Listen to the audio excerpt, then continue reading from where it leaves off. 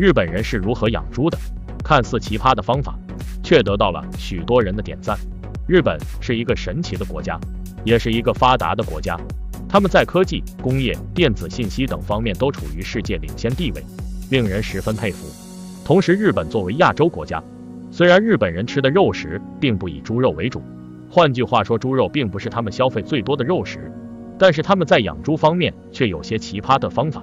二师兄不仅活得逍遥有尊严，养出来的猪肉品质高，而且这些奇葩的养猪方法被许多国家借鉴。那么，到底日本人是如何养猪的呢？进入精彩内容之前，麻烦新来的朋友记得关注我一下，每天都能免费收到精彩的内容。第一，猪舍环境干净整洁，在建造猪舍的时候，就会充分考虑到地震频发的特点，采用的建造材料都是轻质的材料，即使猪舍坍塌了砸到猪，也不会造成大的伤害。而且猪圈里面建造有发酵床，发酵床里面添加了各种发酵微生物，这样猪的排泄物掉到发酵床里。就会被微生物发酵分解，而发酵后的排泄物经过处理就变成了非常好的有机肥，从而降低有害细菌的滋生和减少恶臭味。当然，猪舍里面还会安装风扇和消毒系统。总之，就是为了提高猪的生活环境和生活品质。第二，实行工厂化管理。日本养猪实现的是工业化养猪模式，喂养出来的猪就像工业品一样，品质是有保障的。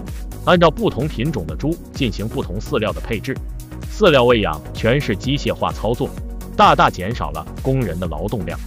第三，给猪放音乐，这方法听起来很奇葩，但是收到的效果还是十分不错的。据日本专家说，给猪放音乐其实是模仿母猪哺乳时发出的呼唤声，以此来唤醒小猪仔吃奶。通过有规律的播放音乐，让小猪仔能够按时按次的吃奶，增加吃奶量。从而提高小猪仔的生长速度，增强抵抗力，减少小猪仔的发病率。第四，用绿茶代替自来水为饮。大家知道，我们吃的猪肉没有膻味，那是为什么呢？因为猪在小的时候被阉割过，而阉割后的猪肉是没有膻味的。不过这样对猪来说是极度不友好的。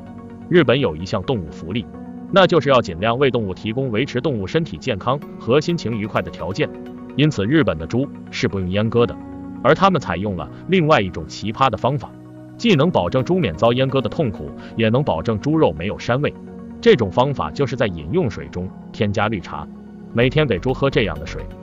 相比丹麦和美国的养猪方式，日本的养猪方式显得很特别。看似简单的养猪，日本人却用到一些奇葩的方法来喂养。不过，这反映了他们做事的精细和科学。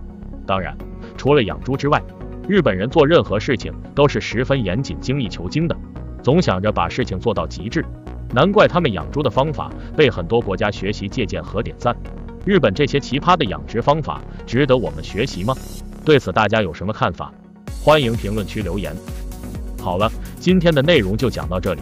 如果您觉得内容不错，请点击关注我，屏幕下方点赞、评论并转发。我们下期见。